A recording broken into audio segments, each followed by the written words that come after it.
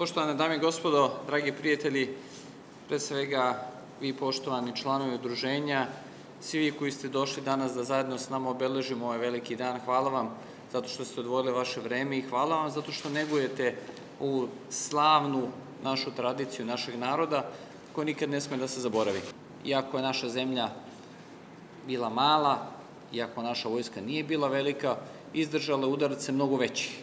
mnogo silnijih, mnogo snažnijih, porazila ih i te prve pobede savezničke u Prvom svetskom ratu bilo su upravo pobede srpske vojske.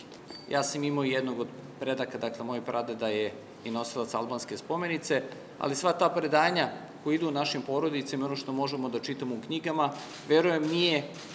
ni mali deo onoga kakvi su junaci i kakvi su heroji bili ti vojnici koji su se borili sa tako ozbiljnim, mnogo moćnim neprijateljem. Ti ljudi su nam danas dali slobodnu Srbiju,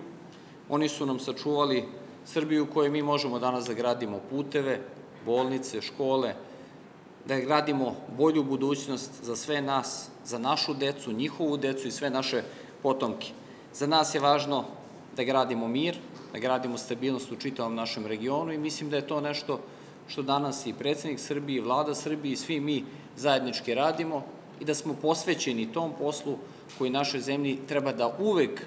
sačuva mir i da nam sačuva tu skupo plaćenu slobodu što zaista nikada ne smemo da zaboravimo.